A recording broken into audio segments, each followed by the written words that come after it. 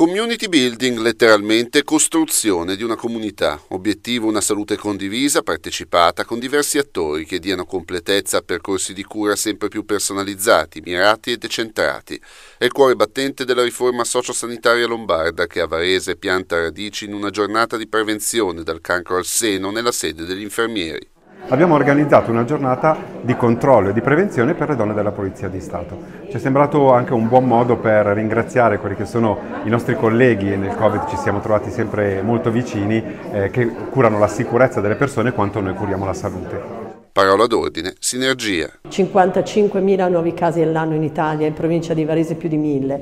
però sappiamo molto bene che questo dato inquietante viaggia parallelo con un dato molto rassicurante, che la percentuale di guarigione supera di gran lunga il 90%, ha un patto però che la diagnosi sia sempre più precoce e che la cura avvenga nei centri di senologia dedicati, le famose breast unit. Care donne, chiude l'esperta, imparate ad ascoltare il vostro corpo. La donna deve solo avvertire se c'è qualcosa che non va, poi speriamo che questo qualcosa che non va sia nulla, nulla di, di, serio, ma è importante avvertire perché ovviamente le visite sono periodiche, generalmente una volta all'anno, così come gli esami strumentali che vengono personalizzati ma mediamente sono una volta all'anno, la donna invece ogni mese si deve valutare e quindi permette in alcuni casi un anticipo diagnostico davvero significativo.